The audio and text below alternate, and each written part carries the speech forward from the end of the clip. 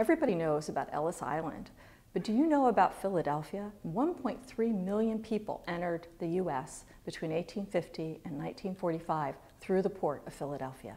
We're doing a week-long workshop for primarily middle and high school teachers called Becoming U.S., the immigrant experience through primary sources.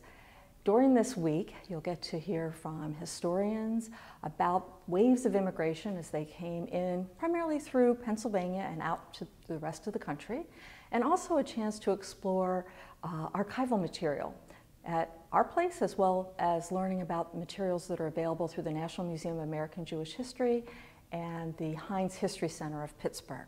I think one of the really unique parts of our program is not just that we're going to cover content, hopefully a lot of new content for people, or that you're going to uh, get to even work with primary sources. But the fact that we're also going to couple that with thinking about innovative ways to present that material in the classroom. You'll be learning about uh, how in this country uh, there are continual waves of immigrants coming from usually different sections of the world at different times.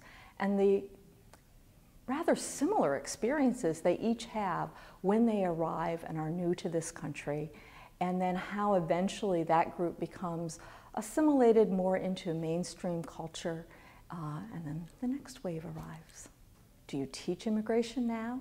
Do you feel like you could use new resources? Do you want ways to really get students to engage meaningfully with that subject?